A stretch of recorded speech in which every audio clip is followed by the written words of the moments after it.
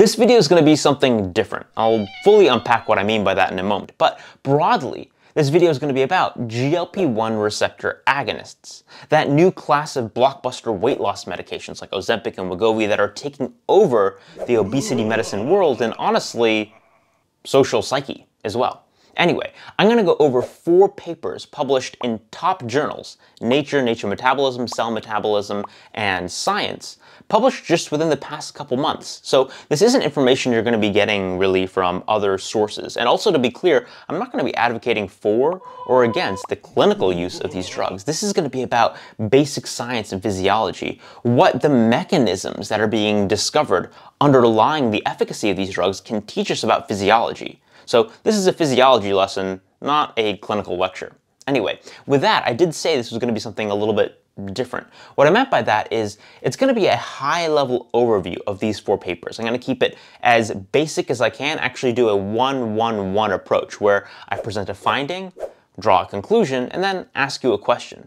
And it's going to be a nested intellectual environment. So for each paper, I've also done a separate deep dive, which I'll link below. So we'll keep this one high level, but if you want to go into the nitty gritty, see the other videos and resources. Anyway, with that, let's dig into it and hopefully learn some really cool things about physiology.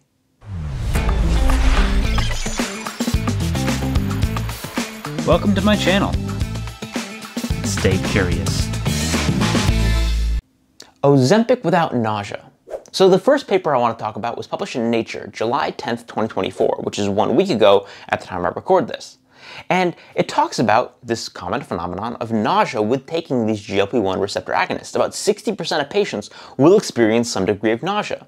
And they kind of ask the question, could you design an Ozempic 2.0 that doesn't carry the risks of nausea? Now, for that to be the case, you need separate biological circuits, one exerting a pure satiety effect and weight loss effect, and the other exerting a nausea effect. And what they find in this paper, high level, again, is indeed this is the case. That there was an area of the brain, the nucleus of the solitary tract, that you could specifically target and get weight loss and satiety without any nausea, whereas the area postrema, a different region, exerted a nausea effect. And while targeting the area postrema could cause nausea, food aversion, and weight loss, these two areas, activating these two areas that express GLP-1 receptors in the brain, were not additive. So you didn't get any extra weight loss benefit, at least in the preclinical model, by targeting the area postrema, leaving open the possibility that you could basically target this one center, the nucleus of the solitary tract, and get all the satiety, all the weight loss without any risk of nausea.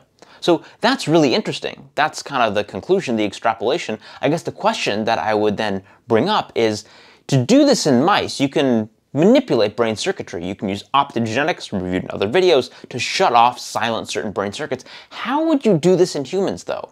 How would you design a drug to target one region of the brain and not the other? Or otherwise stated, how could you shield a region of the brain? Could you do this with human pharmacotherapy? Anyway, provocative question. I think it's really fascinating that there are these different neural circuits, and I'm going to leave you with that, and you can go check out the deeper dive if you want to. Now, moving on. GLP-1s and polycystic ovarian syndrome. So now I want to talk about a paper that was published in Nature Metabolism, May 20th, 2024. And it discusses polycystic ovarian syndrome, a very common reproductive disorder in women typified by irregular periods elevated androgens, so male sex hormones like testosterone, and or polycystic ovaries. You need at least two of those three to have polycystic ovarian syndrome. Now, an interesting thing is that polycystic ovarian syndrome is associated with insulin-resistant disorders like diabetes, also cardiovascular disease, and GLP-1 levels are known to be reduced in various insulin-resistant disorders. So GLP-1 levels are reduced in obesity, and GLP-1 levels are reduced in PCOS. What they found in this paper, though, the main finding is that giving back GLP-1 was sufficient to basically erase PCOS in a PCOS mouse model, which is really fascinating. You can see that here. Here's the PCOS mouse model. What happens when you give liraglutide, uh, GLP-1 receptor agonists? Boom, cysts be gone.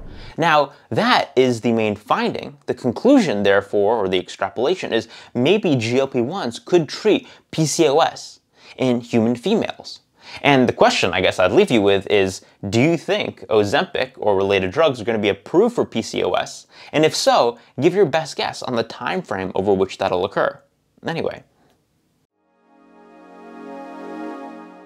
Resisting your culinary kryptonite. I have to admit I had fun with the title, uh, concept, packaging, and thumbnail on this one. You should definitely go check out that video because I'm particularly proud of it. I thought it was a lot of fun.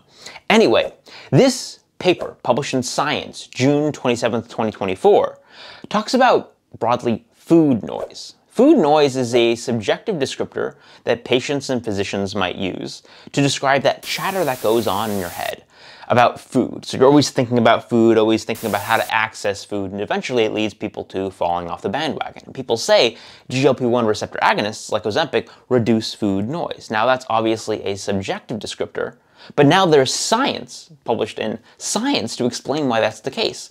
And what they did in this study is they looked at the effects of GLP-1 receptor agonists on satiety, but they bucketed it into ingestion satiety, so when you're eating, you know, how full you get how quickly, versus pre-ingestion satiety, which relates more to food noise. So when you get cued to food in the environment, do you have a lot of food noise or are you able to say, nah, I don't need that? That's pre-ingestion satiety. That's reducing food noise. And what they found, actually, in humans and in animal models, is that indeed the biggest differentiator in the GLP-1 receptor agonist group versus the control group was the pre-ingestion satiation, basically the reduction of food noise. So I find that quite interesting. It basically is a finding that, this is the conclusion, confirms the subjective experience of patients with respect to this descriptor reducing food noise. So Another question, this is the question I'll pose to you if you're not taking this drug or if you are, what are other ways to reduce food noise, maybe without pharmacotherapy? Are there lifestyle interventions? Are there environmental building exercises, maybe just getting certain foods out of your access, out of your awareness, that can help reduce food noise and therefore help be lifestyle interventions that could lead to better success? Better than Ozempic. So in this paper, published in Cell Metabolism June 14, 2024, they start to dig in to the differentiating physiology between a newer generation of weight loss drugs, the GLP-1 receptor agonist combined with GIP receptor agonists versus Ozempic. So you might have heard of this drug tirzepatide. It's kind of like Ozempic, but it's Ozempic with a bonus. That is it's a GLP-1 receptor agonist, but it also is an agonist of the GIP receptor, with GIP being another incretin hormone released from the gut. So you have GLP-1 released from L cells, you have GIP released from K cells in the intestine, and they act on different receptors around the body. Now, earlier in this video, we alluded to the fact that there are GLP-1 receptors in the brain, and they're elsewhere in the body as well. But interestingly, where there are not a lot of GLP-1 receptors is fat cells. So GLP-1 doesn't act that directly, it can act indirectly, but not that directly on fat cells. But GIP is highly expressed on fat cells.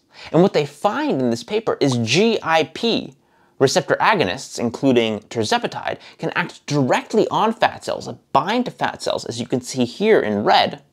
And what it does is basically enhance metabolic flexibility.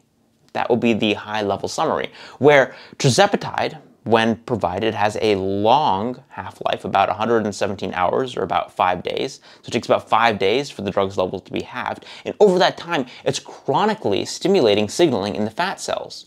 As you go through feeding periods and you're in the postprandial period and fasting periods. And in the postprandial period after eating, it helps with glucose disposal, keeping your blood sugar more stable. And in the fasting period, it enhances lipolysis. It enhances fat burning. So basically what it's doing is it's making your fuel partitioning, your metabolic flexibility more dynamic and adaptive. And so basically the benefit, the margin between the benefit of tirzepatide, which is more powerful than Ozempic, has to do with enhanced metabolic flexibility and fuel partitioning via action on fat cells. And if you want more on that, my conclusions and questions, I'm actually going to tease you to go watch a whole separate video on fuel partitioning. So I have a video on tirzepatide and why it's better than Ozempic physiologically, and then a separate video on fuel partitioning. You should go watch both of those. With that, I'm gonna wrap up this video, but again reinforce what I was trying to do here. Not talk about the pros and the cons clinically of these medications. You can get that elsewhere. You can get fear mongering about the side effects or praying to the altar of GLP-1s elsewhere. What I want to talk about here is look, we have these medications out in the world. We have interesting physiology via these medications, and we should just study it and I think be interested in the underlying physiology of how they work because from that we can gain knowledge that can lead to future innovations. And it's not always clear the benefits we'll get out of just studying basic science. It actually is a nice you know, full circle coming around because where did these medications come from? They came from studying the basic science of Gila monster venom. And then when scientists in the 90s were studying Gila monster venom, they didn't know that now in 2024 we'd have multiple drugs and multiple evolutions of drugs that are changing the weight loss game. They just were studying the humble Gila monster. They were staying curious, and look where we are now. Whether that's a better or worse place in your opinion, I think it's a pretty fun and exciting ride. I hope you agree.